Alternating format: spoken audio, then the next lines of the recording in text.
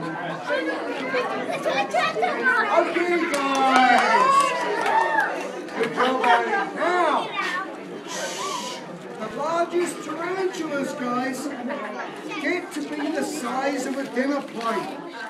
And those guys are called the Goliath 30-limb tarantulas. Aren't they the ones that are poisonous? Well, all tarantulas are poisonous, even this one, right, Addie?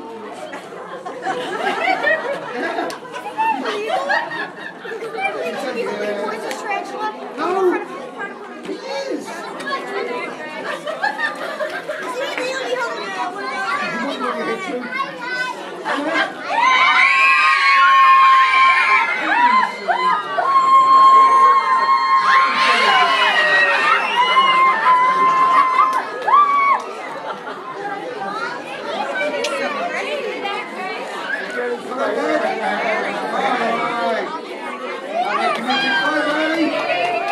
right.